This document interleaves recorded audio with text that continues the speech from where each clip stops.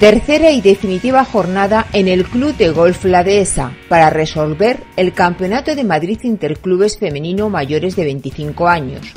Con las emociones a flor de piel y cuatro puestos en juego, los equipos supervivientes a las jornadas clasificatorias llegaban dispuestos a dar lo mejor de cada una de sus jugadoras por salir victoriosos de sus respectivos enfrentamientos.